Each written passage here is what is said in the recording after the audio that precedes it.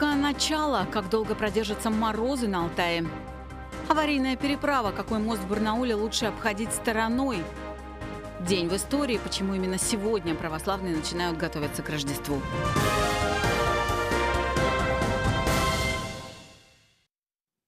Наши новости начинают свою работу в эфире. В студии Татьяна Голубева. Здравствуйте. Сегодня утром в краевой столице произошел порыв на одной из центральных улиц. 100 метров тротуара и дороги затопило водой. Сейчас там снежная каша и лужи с ледяной горкой. Здесь авария. Она не здесь, она вон там.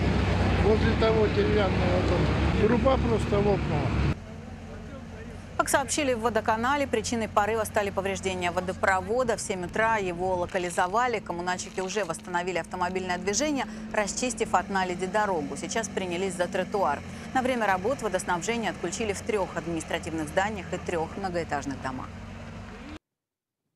На Алтай пришли сильные морозы. Минувшей ночью температура местами опускалась до минус 35 градусов. Сегодня-завтра синоптики обещают до минус 34-37 ночью, днем до минус 24-25.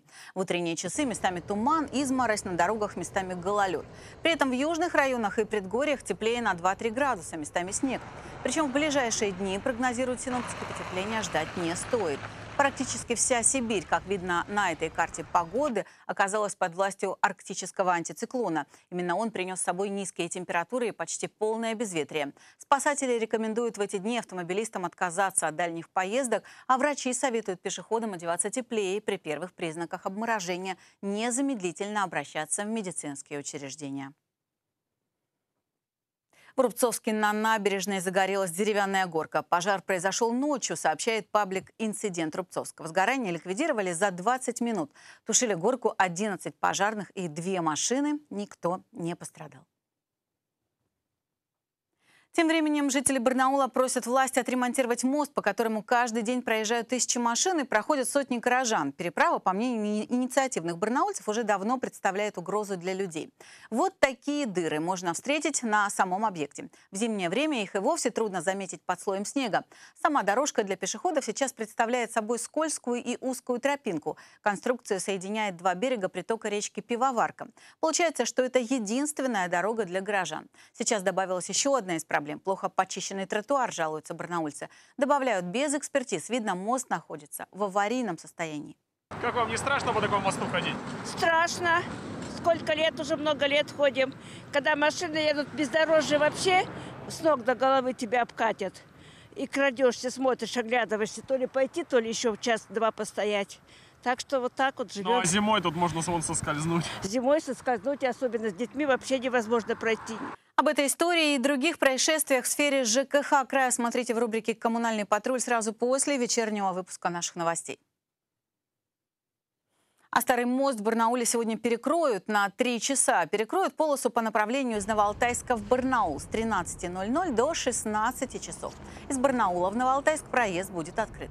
Ограничения связаны с работами по вывозу снега, поясняют дорожники. На мосту будут дежурить экипажи ГИБДД.